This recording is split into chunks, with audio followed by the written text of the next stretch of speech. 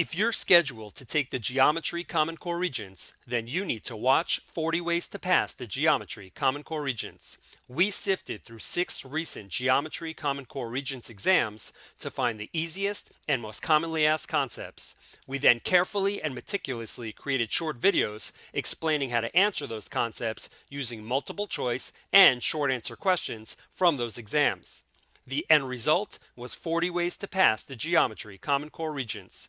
Organized and arranged in an easy to follow sequence, each of the 40 concepts comes complete with its own video, with every video lasting less than 3 minutes. And as if that wasn't enough, most of the videos are immediately followed by multiple choice and or short answer questions to test your knowledge of the concept.